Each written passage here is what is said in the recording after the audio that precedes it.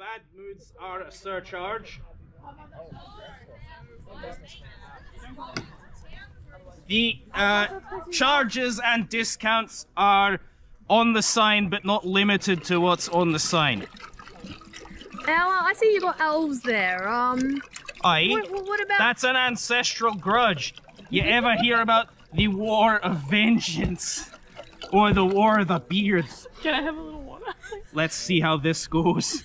Yeah, that's that's good. Thank you. I'm not very educated. Maybe you can educate me. Well- what is this war? About something like 3,000 years ago, a bloody elf decided to cut off a dwarf envoy's beard. Never been the same since. Or that one incident? Aye, have you ne- I tell you what, if you think you can get away with cutting off a dwarf's beard without a fierce retribution, you got another thing coming.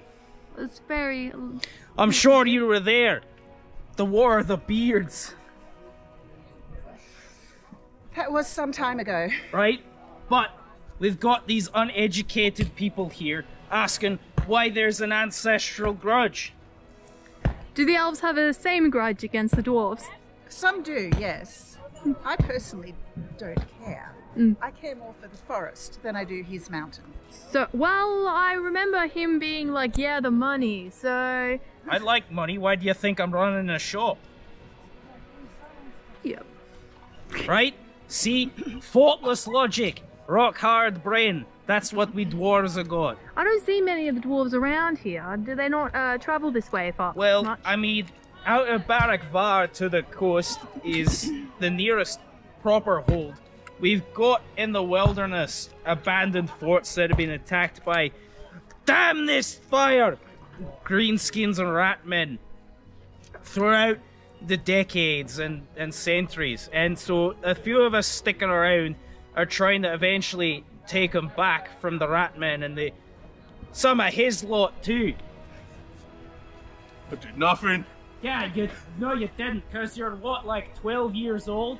But 56 years ago, when my outpost was attacked, I'm sure I saw an ogre there. You're lucky that's tied up, mate.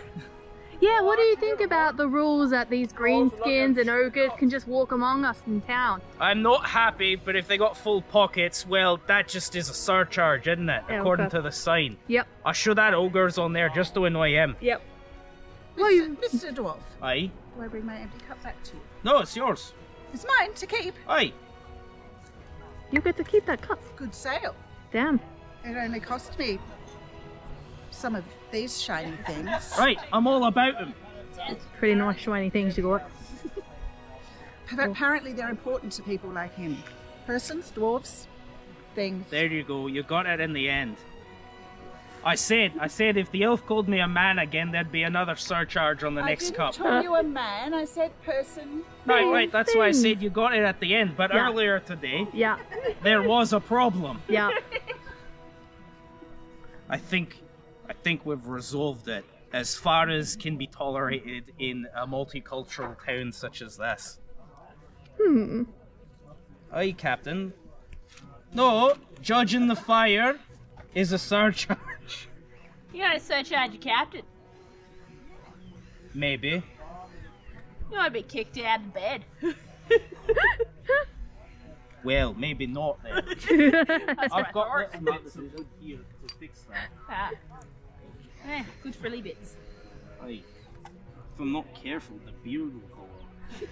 or your hand. Might I didn't useful. worry about that.